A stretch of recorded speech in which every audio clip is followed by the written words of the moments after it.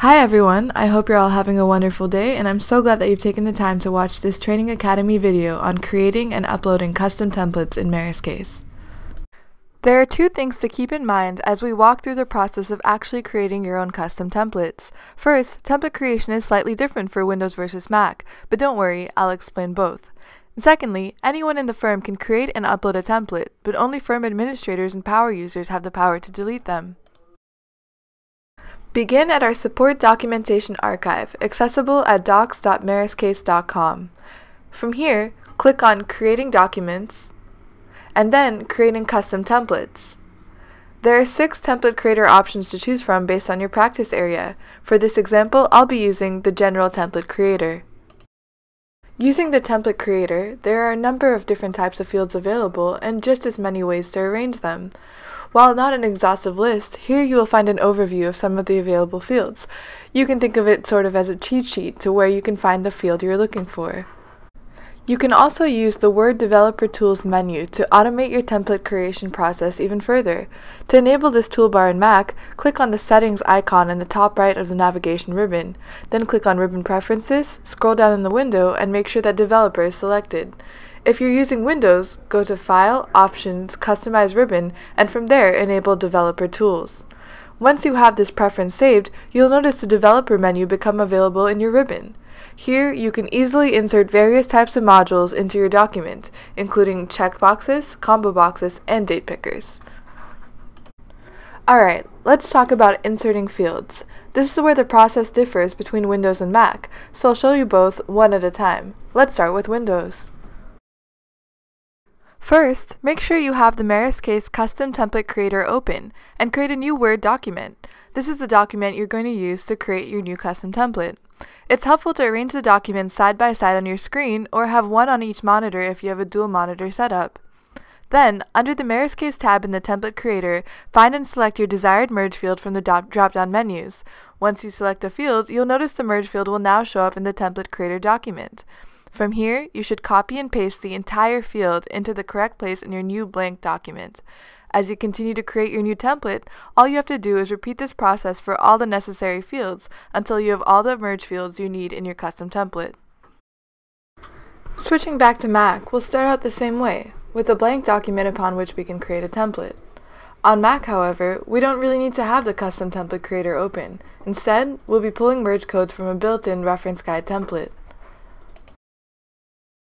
Like all other built-in templates, this guide will be accessible from any of your cases. Just go to Forms and Templates and search for Merge Field Reference Guide. If it doesn't pop up right away, make sure the search filter you're using is set to Name.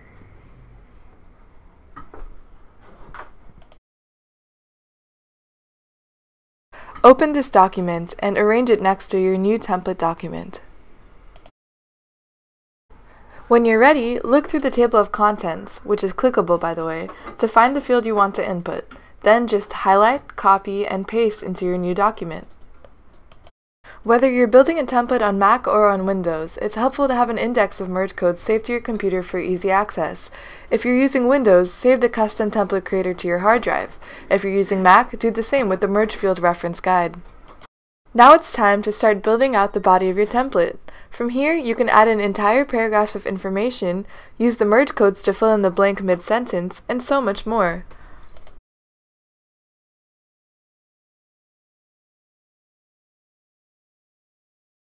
As you work with your new template, you may also find that you need to adjust the text styling of the merge fields to match that of their context. This is as simple as formatting the text of any other document. First, be sure to select the entire merged field. Next, Right-click on the selected field and select Font to change the font, size, or inline formatting options.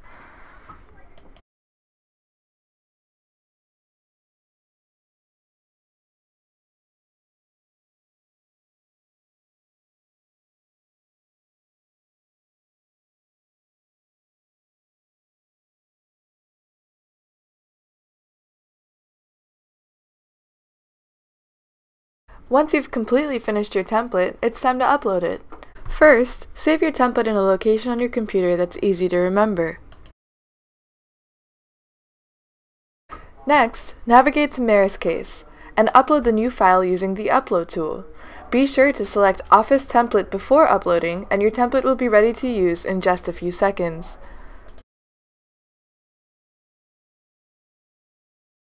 The last step you'll want to take is to test the template in order to verify that your data is merging successfully.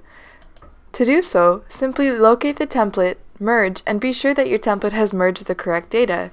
If you need to make changes, you can just delete the template, which you must be a power user or about to do so, and then make your changes to the Word template, save them, and upload the new template once again.